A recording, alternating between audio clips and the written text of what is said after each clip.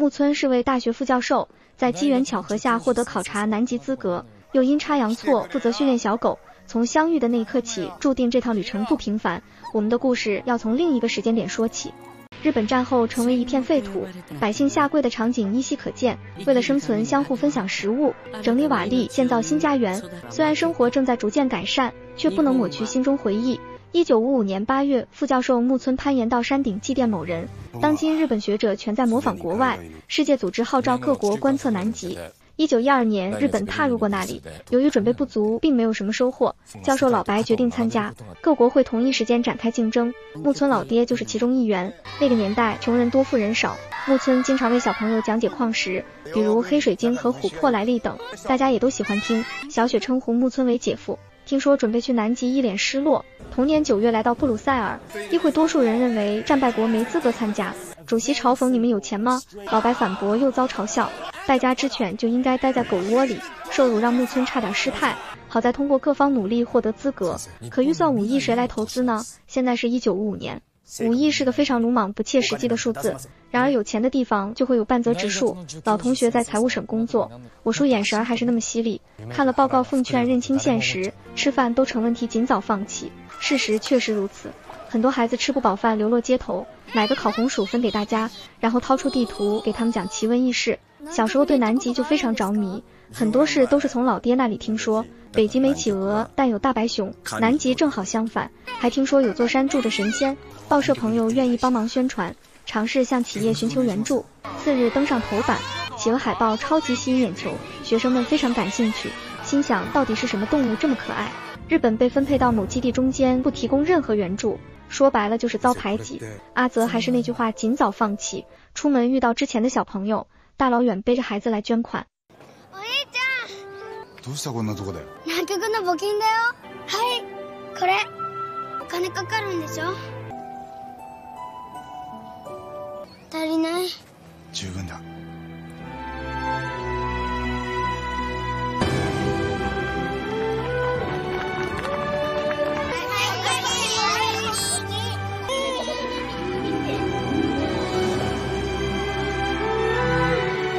相手にされなかった南極観測に手を差し伸べたのは子供たちだったのだ。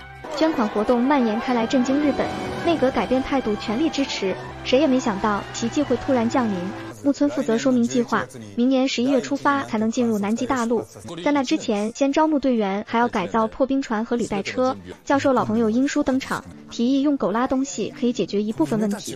北海道的化泰犬抗寒能力强，破冰船名叫宗谷，与大和战舰同时期诞生并生存下来，拥有耐冰结构。可时间太紧，没人愿意改造。大和战舰设计师映入眼帘，一顿劝说又搞定一事。来年一月正式动工。另一方面，许多船员来面试，学生阿种号称有训狗经验，直接录用。很不幸，木村落选。十三年前，作为登山队长，失去过一位同伴，让人抓住把柄。当时阿泽也在场，无奈只能移交所有工作，后续负责找狗。小雪今晚相亲，没敢打招呼。几天后，带着阿种出门，华泰犬既凶猛又健壮。吃掉你我只够八分饱。老板坦言，千万小心，否则容易缺胳膊少腿。十只立即可以派上用场。老大对人不太友好，但力量十足。小白天资聪明，适合领队。其他几只稍微差点意思。小熊老爸去过南极，绝对主力。这家人孩子也有一只，性格好又可爱，想带走门儿都没有。阿种没训狗经验。木村笑着明示，慢慢来。破旧房屋窜出来两只小黑，看起来挺面熟。主人跑路，饿了很久没人照顾，拿出两个饭团先喂着。老板经过检查，有四只不合格。之前看到的两只原来是小熊儿子，再次返回已被卖掉。木村用高价赎回两只大宝贝。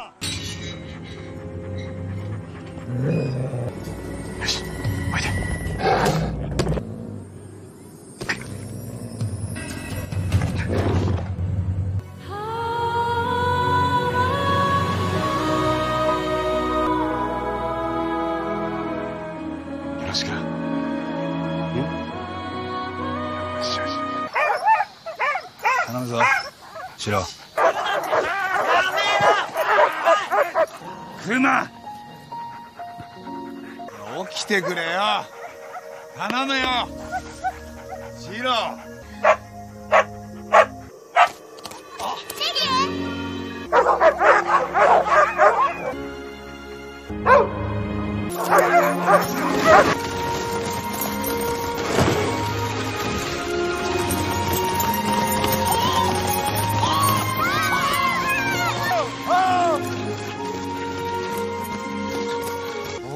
たかありがとな兄貴リキ南極に来たのかな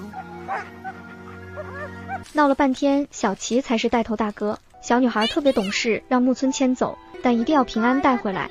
研发防寒装备遇到麻烦，改造工程也大幅度延期，防水试验又出现重大问题，观测可能会被终止。距离出航还有三个月时间，严冬登陆绝对不可能。木村不甘心，孩子们的零用钱已经捐给我们，想让日本重新站起来，只有冲到底。 可现在的状况确实无能为力，百姓第一个不服，各行各业纷纷前来支援。为了孩子们的梦想不能放弃，阿泽泼了一盆冷水，门外汉只会帮倒忙。老白作为话事人，让大家多多尝试。没过多久，本田宗一郎贡献新技术，抗寒装备获得突破，东京通信工业也跟着加入，再次测试滴水不漏。民间大神果然有点东西。距离出航还有二十九天，全部完工。木村功不可没，官方发文立刻回归原职。孩子王说，小雪老师没去相亲。两人这层窗户纸始终没捅破。一九五六年十一月八号正式起航，南极之旅学术部分只占一小部分，实际上是为了帮日本挽回颜面和国运。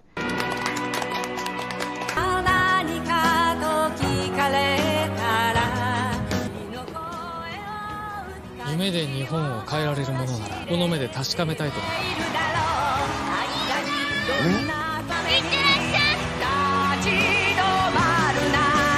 想像を絶する困難の始まりだったのです。为了让世界看到一个自食其力的日本，向着未知南极大陆进发。第一次出海，一般人很难适应。跟小狗玩一会儿能起到放松作用。木村不满足，只建一个观测基地就回来，打算留下过冬为后人积累经验。有人支持，有人反对。厨师大概率也会留下。 小熊不管那么多，来了就造反。老白表示，过冬不被政府认可，分配给日本的观测地点没人去过，气候恶劣程度难以想象，到底会降到零下多少度更没人清楚。阿泽站在老白一方，万一出现遇难者会被其他国家嘲笑。木村愿意舍命赌一把。内部产生分歧，开始互相掐架。突然风暴来袭，倾斜角度过高，根本站不稳。有只小狗受伤，医生经过检查并无大碍，需要静养。如果真要越冬的话，愿意留下。政府定期向宗谷号家人报告状况。同年十二月，穿越马六甲海峡，被毒辣太阳炙烤，狗舍空调最高降到二十三度。进入南极前只能忍耐，其他人浑身淌水，准确来说更像洗澡。外务省发来电报，先遣队能力不足，不许越冬。由于实在太热，饭都吃不下去，老山抢走钥匙，打算去狗舍吹空调。因为这个小事，木村和老山起了冲突。冷静下来，道出实情。过冬告吹，我们应该统一战线。南极可不是一个随便就能去的地方，没有互相托付的觉悟，只能去送死。随后放下钥匙，看着办。英叔露出满足笑容，坚决支持留下过冬。次日扮演圣诞老人，增加团队凝聚力。更强的暴风雨再次来袭。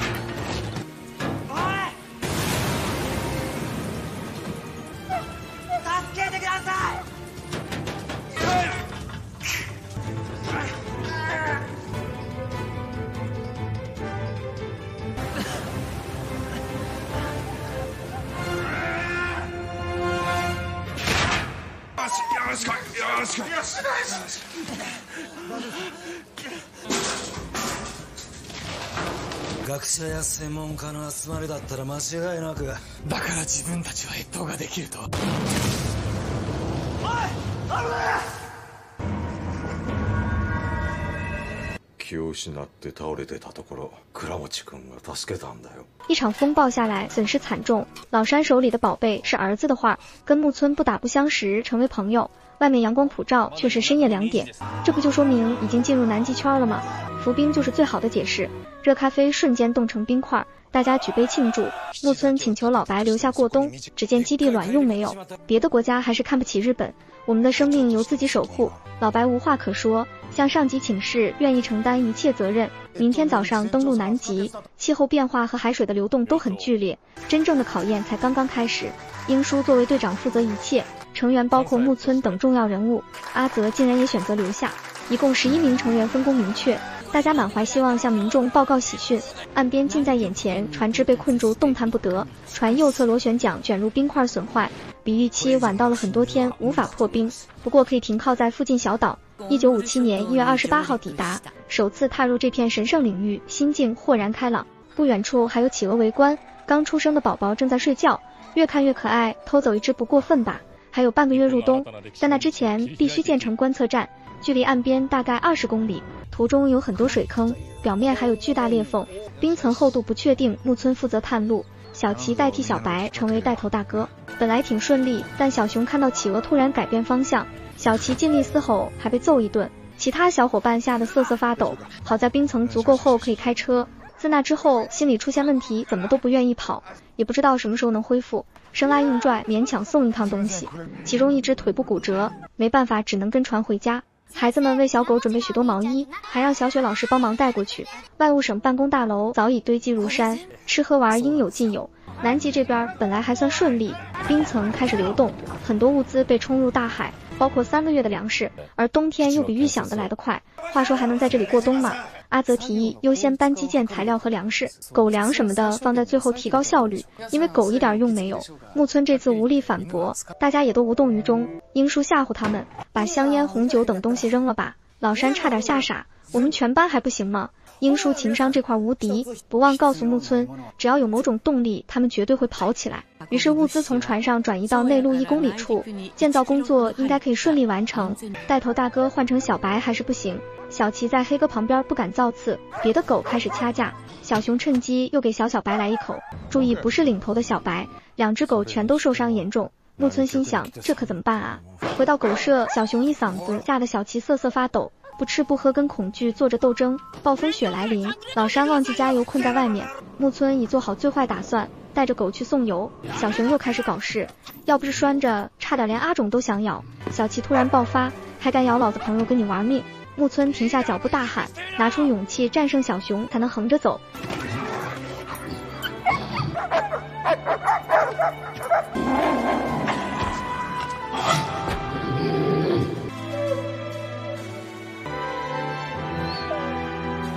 大丈夫か？仲間が待ってる。走れるな。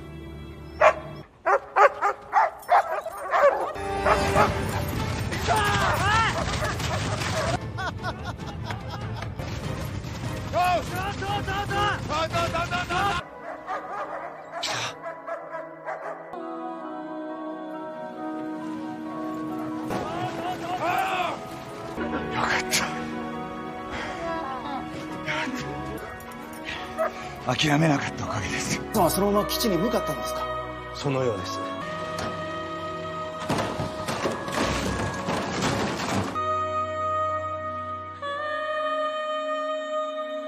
建设中的基地出现部分破损，大家已经开始着手修复。阿泽徒步十公里带来物资，暴风雪让所有事物发生改变。小狗之间和睦相处，人与人的感情也愈发浓厚。雪橇队成为不可或缺主力。 小熊败下阵，乖乖服从大哥小齐，最后在入冬前完成任务。老白返航，明年这个时候再来。三只受伤小狗跟着一起回家。接下来就要迎接极端寒冬。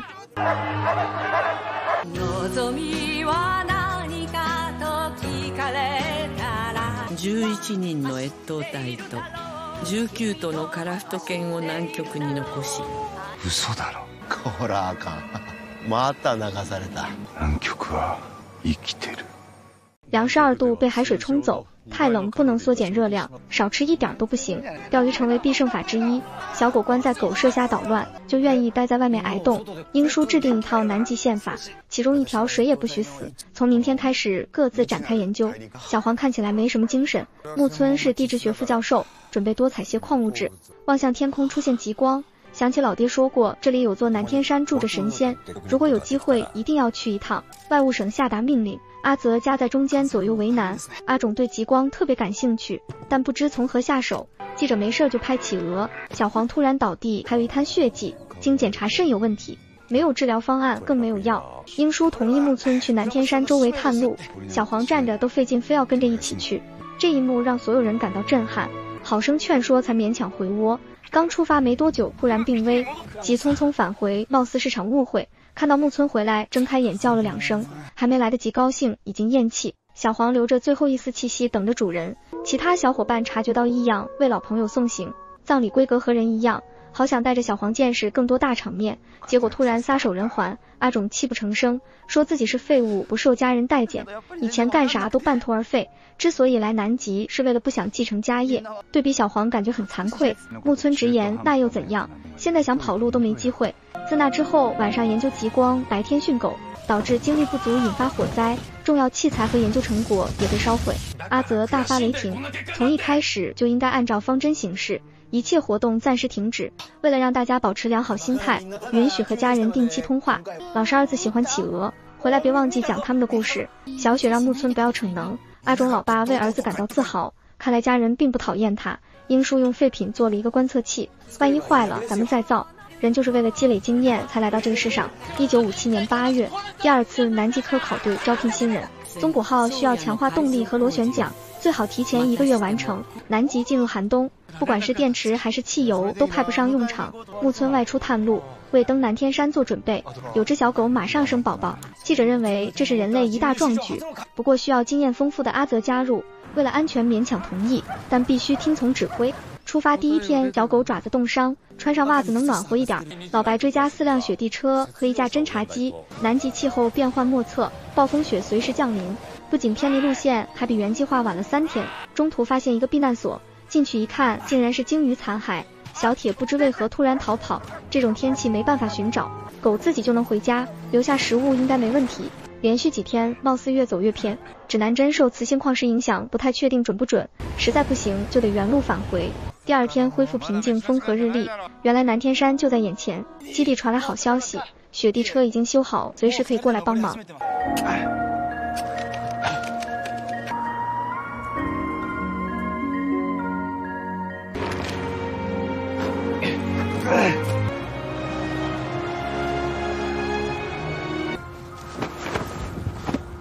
何すんだよ屋根がうるせえな。すごいだろこれ。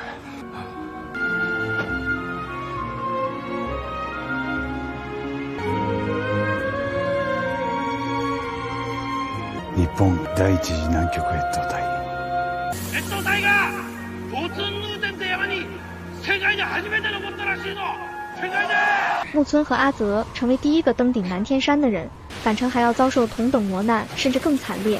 阿泽不幸骨折，小铁没回来，没水没食物，扛不了多久，让他俩先回去求援才是最佳方案，不许感情用事产生误判。木村明白怎么回事儿，但绝不放弃同伴。正说着，小铁归来，看来让狗送坐标可行。小七和小熊儿子一起出发，食物不够那就吃狗粮。现在的状况和当年一样，阿泽受伤，让木村他们先走，结果山势滚落砸死一名队员，就算队长木村没错，也要背锅。阿泽一直耿耿于怀，所以才要用行动弥补。又过去几天，身体接近极限，救援车辆中途看到三只小狗。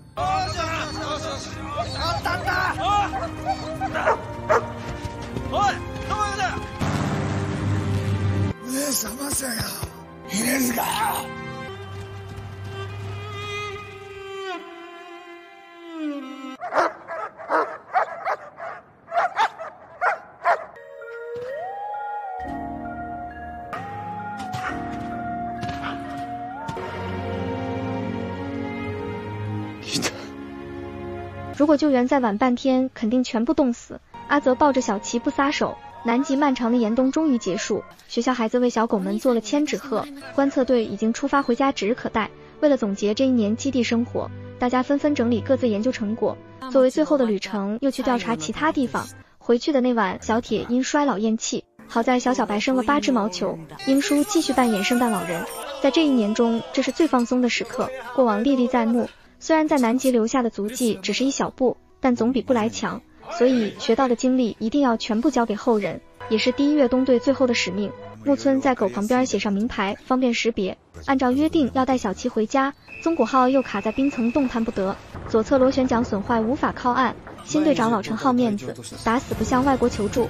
一九五八年一月，宗谷浩连同冰块被水流冲走。附近有一艘美国舰船，老白拉下脸请人家帮忙破冰。很快入冬，需要改变原定计划，派侦察机把第二月冬队送到基地进行交接，等船靠岸再利用雪地车搬运物资。老程不服，认为应该按照计划先把精密器材送过去，让基地所有人回船上交接，再返回等待。讲道理，这就是纯纯的脑残行为。然而这是上级命令，不容更改。那刚出生的小宝宝怎么办呢？连狗妈一起带回去呗。次日飞机抵达，沿岸天气不稳定，一次载重四人，厨师一个顶三个。阿泽同为官员，极力劝阻，在南极林场判断最重要。老子生活过一年才会这样说，结果卵用没有。木村向小狗道别，不用担心，很快就回来。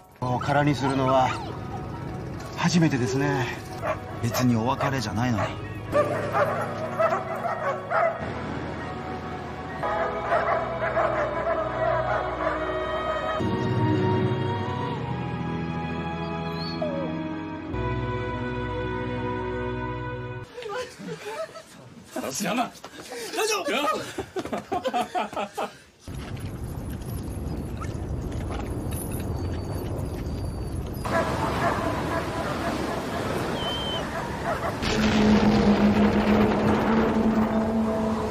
ランド号から連絡が入り一刻も早く沖に脱出した。最悪のことを考えて犬たちを船に連れて帰ってきます。今犬の話をしてるんじゃない。人の話をしてんだよ！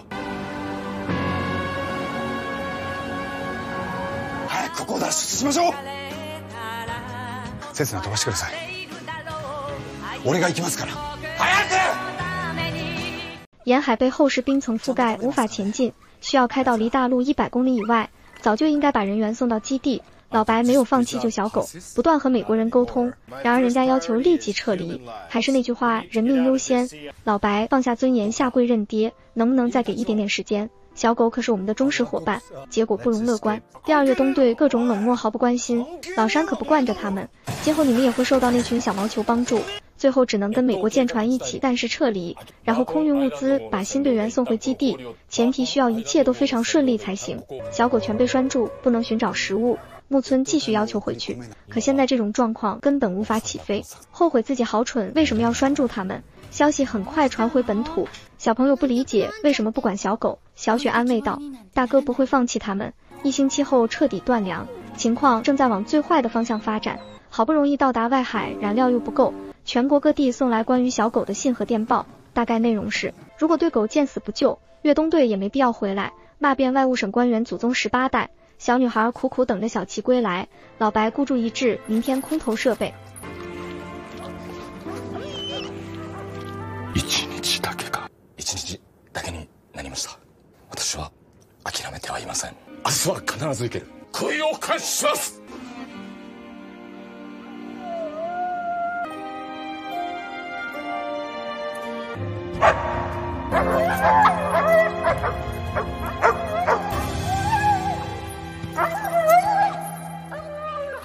なしく待ってろ。脱走なんかすんなよ。あいつらの首は締め直してきたんです。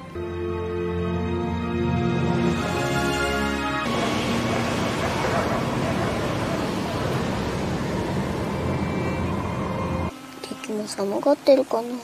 リキは大丈夫だよ。風が強くなってきましたね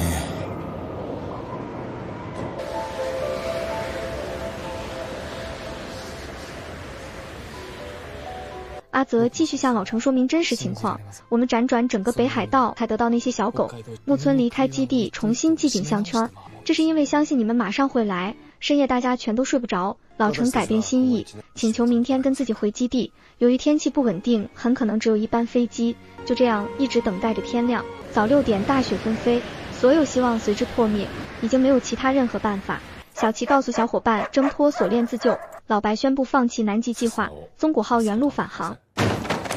犬たちに命を救われました。あいつらのおかげなんです。どうして助けに行けないんだ。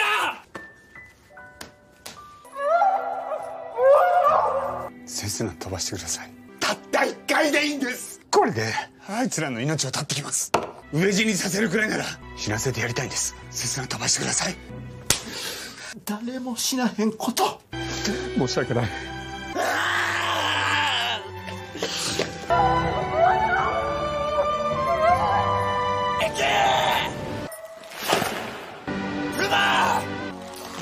望み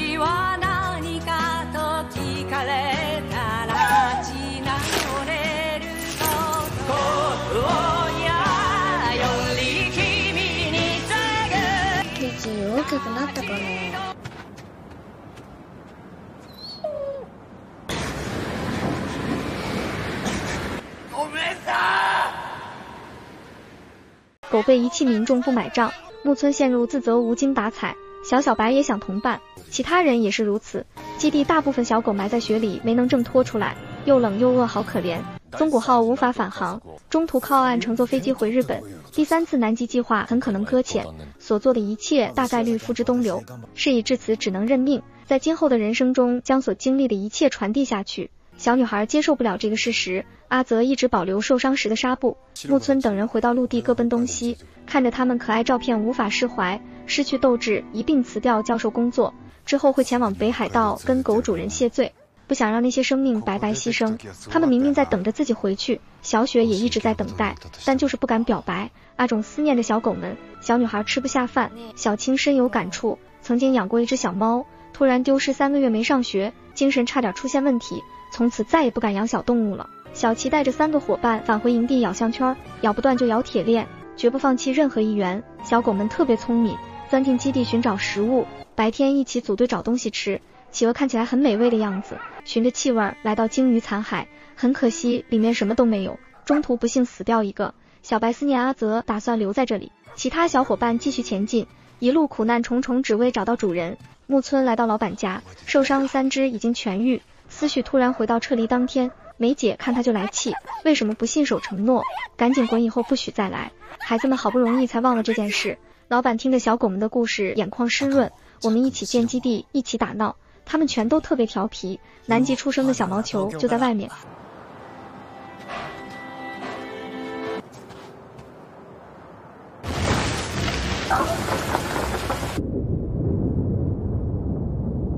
南極に捨ててきたのは誰よ 我々が今止まるわけにはいかないんです。どなたかいらっしゃいませんか？また来るからな僕。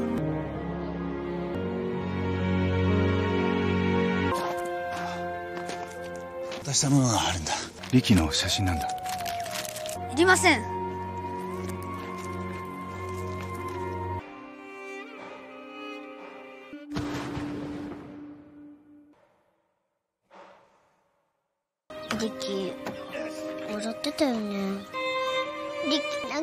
楽しかったかな。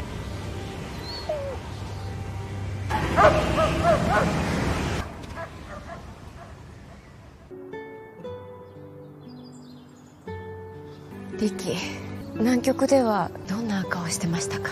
教えてあげてくれませんか？南極で楽しそうにしてた？リキ大丈夫だった？それでリキはクマに勝ってみんなのこと引っ張ってくれた僕の命の恩人なんだ。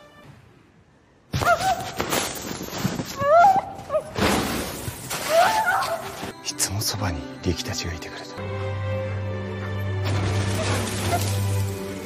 本当にごめん。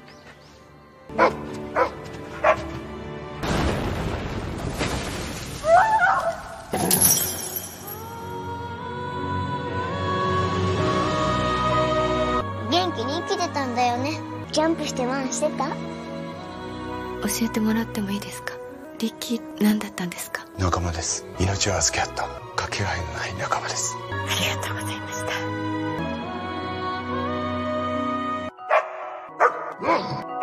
この子たちがリキのためにおったんですけど。今どんな顔してるのかな？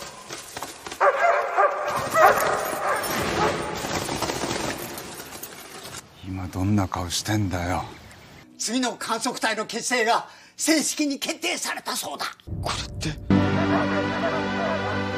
もう一度南極に行こうと思う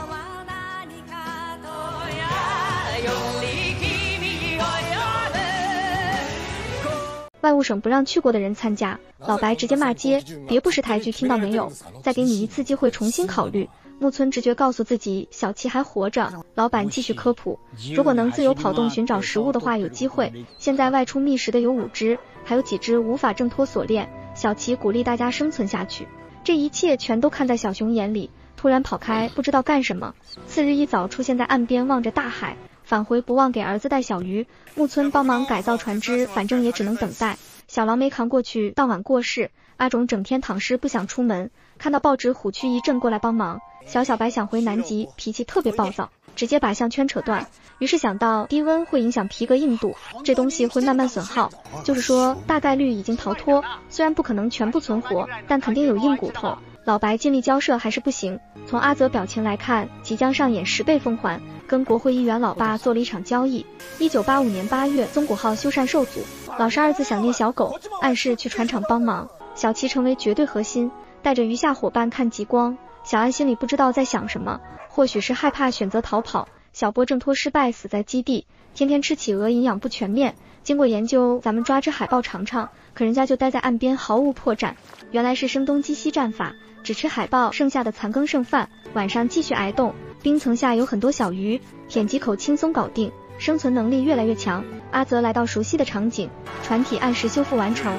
突然收到消息，英叔可以去南极，木村请他帮忙带千纸鹤。英叔直言替我去呗，最近老妖经常出问题，一定要拯救小狗。那个男人赌上人生才换来这次机会。阿泽辞掉公务员，继承家业，参与政治，在别的领域同样能改变日本。木村出发前为小朋友讲故事，最边上的两只是小熊儿子，虽然还是孩子，但他们很努力。小熊意外掉进水里爬不上来，小琪越来越聪明，咬住铁链轻松拿捏。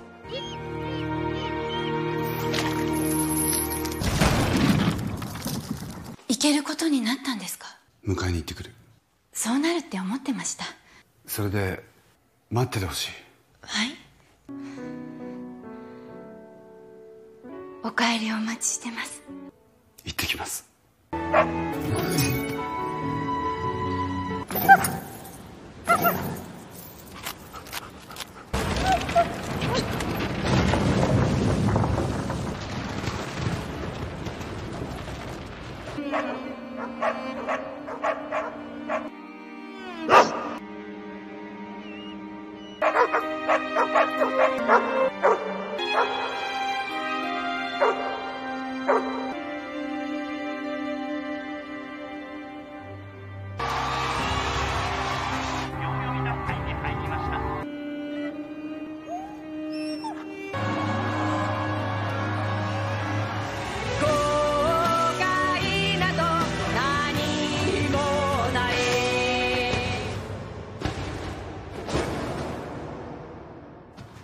小齐瘫倒在雪地，梁小黑不知道该如何是好。第三次南极之旅起航，木村给新船员看小狗照片，接他们回来属于首要任务。对于风浪已经司空见惯，大家第一次来南极都很兴奋。距离大陆还有一百八十公里，上次由于暴风雪和冰面阻碍无法靠近，这次尽力成功登陆。万一基地遭到破坏，有可能无法越冬，侦察任务自然落到木村头上。画面一转，只剩小齐被大雪覆盖，动弹不得。梁小黑跑到岸边寻求最后希望，不料因雪崩掉入冰冷海里。宗谷号卡在同一地方，按照现在的状况，无法派出飞机。老山祈求上天给小狗一次机会。老白时常考虑，当年自己是不错了。现在不论什么状况，天亮立即飞回基地，船又能再次行进。小齐踉踉跄跄来到岸边，什么都没有。不对，好像突然想起了什么，用尽最后力气倒在基地门口，心想主人怎么还没来？好孤独，快撑不住了。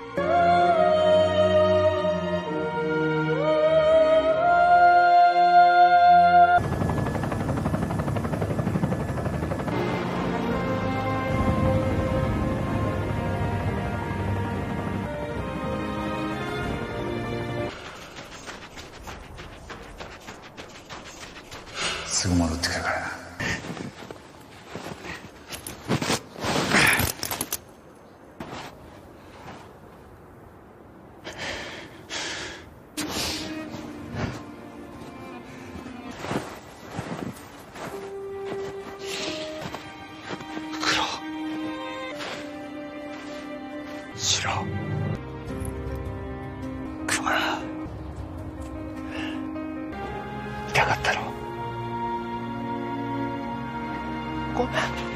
村喜忧参半，大部分都能挣脱锁链，跑进基地大喊小狗名字，羽绒服上还有毛发。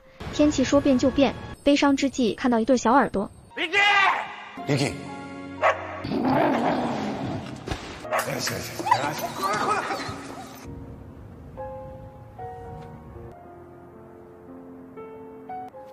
ほら何やってんだよ起きろよ目開けろよ 前まだあったけえじゃねえかまだあったけえじゃねえかよ戻ってこようとしたのか偉いなお前もうちょっと俺が早く戻ってこられたらなごめんな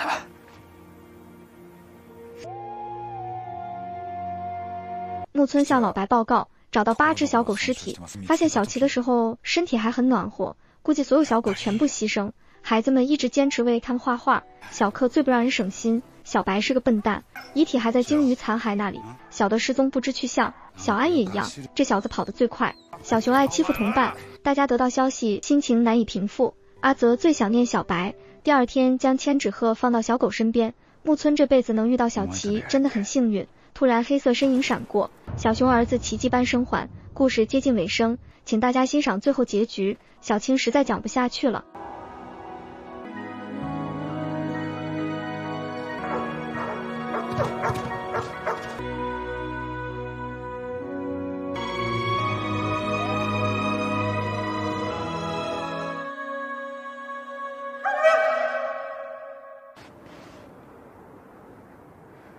忘れちゃったか。どうしても会いたかったんだよ。ごめんな置いてったりして。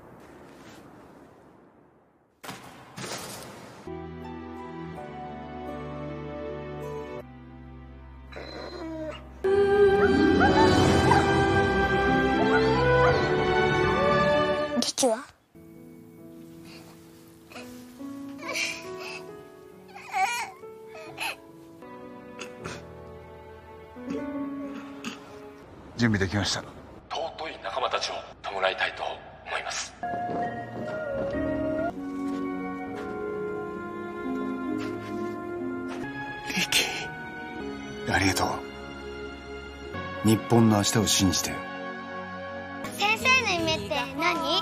未来に送り出すことです。走り続けることが。